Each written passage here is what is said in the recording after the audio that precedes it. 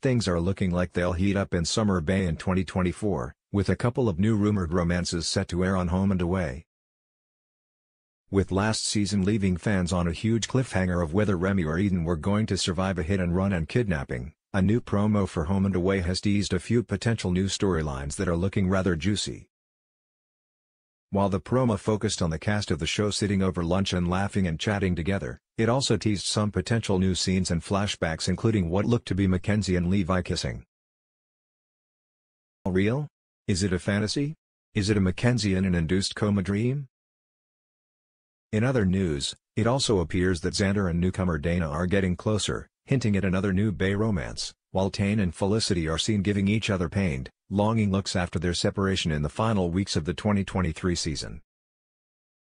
After seeing the promo, many home and away fans are excited to see where the show takes us early next year. I hope Mac Dr. Levi stay together she deserves happiness, one fan commented. Whoa love is in the air, another said. Xander and Dana make sense, another commented, with another agreeing.